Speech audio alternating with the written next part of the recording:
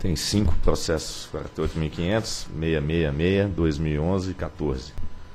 Recurso administrativo interposto pela empresa Energisa Minas Gerais, Distribuição de Energia SA, em face do auto de infração número 74 de 2012, lavrado pela SFF, que aplicou a penalidade de multa em decorrência da inadimplência no envio do relatório de informações trimestrais. Diretor relator, doutor André Peptoni. A Superintendência de Fiscalização Econômica e Financeira, em janeiro de 2011, fiscalizou as áreas econômica e financeira e contábil da Energisa, Minas Gerais, e constatou que a concessionária havia encaminhado ao ANEL o relatório de informações trimestrais, o RIT, referente ao segundo e ao terceiro trimestre de 2010, em atraso. O prazo vencido em 16 de agosto de 2010 para o segundo semestre, o segundo trimestre, e 15 de novembro de 2010 para o terceiro trimestre. Logo, encaminhou o termo de notificação número 6 e o relatório de fiscalização, também de número 6 de 2011, foram encaminhados à empresa. Em 5 de julho, após analisar a manifestação da concessionária, a CFF lavrou o auto de infração 74 e aplicou multa de R$ 111.959 na concessionária.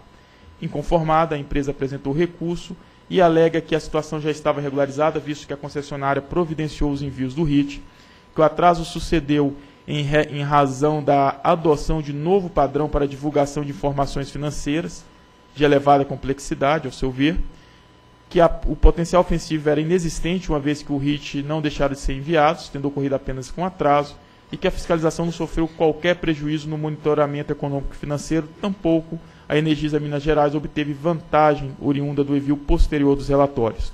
Diante tais argumentos, solicitou o arquivamento do processo punitivo ou, alternativamente, a redução e adequação da multa ao caso concreto ou ainda sua conversão em advertência. Em 27 de agosto de 2012, a SFF, exercendo o juízo de reconsideração, manteve a decisão. É o relatório. Procuradoria. A Procuradoria faz uma manifestação conjunta para os itens 5 a 10 opinando em todos eles pela presunção de juridicidade da decisão a ser proferida pela diretoria.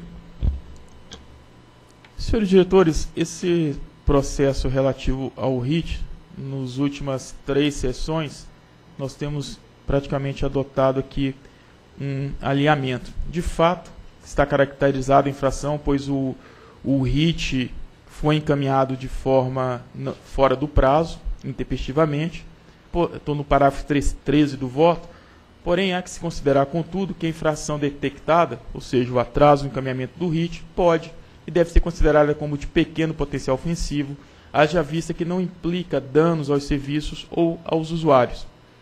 Adicionalmente, constata-se do auto de infração 374 que inexiste registro no banco de dados da agência de infração cometida pela Energisa Minas Gerais de igual proporção. Logo, a gente entende que os artigos, os incisos 1 e 2 do artigo 8 da resolução 63 foram atendidos e a multa ela não só pode, como deve ser convertida em advertência. Nesse sentido, com apoio nessa fundamentação e no que consta do processo 48.500.000.666-2011-14, voto por conhecer do recurso administrativo interposto pela Energisa Minas Gerais, para, no mérito, dar-lhe parcial provimento, convertendo em advertência a multa aplicada por meio do auto de infração 74-2012 da SFF. É o voto. Em discussão, em votação. Voto com o relator. Também voto com o relator e proclamo que a diretoria decidiu converter em advertência a multa aplicada por meio do auto de infração 74 de 2012 da SFF. Próximo.